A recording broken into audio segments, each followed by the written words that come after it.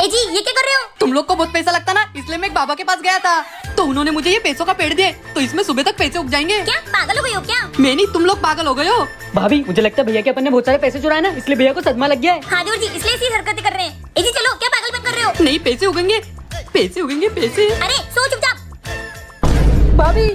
अब इनको क्या हो गया? क्या हो गया देवर जी? ये देखो। मतलब तुम्हारे भैया सच बोल रहे थे? इसमें तो सच में पैसे आ गए। भाभी क्यों ना इस पैसों से अपन खुद ही शॉपिंग कर ले। सही कह रहे हो देवर जी। चलो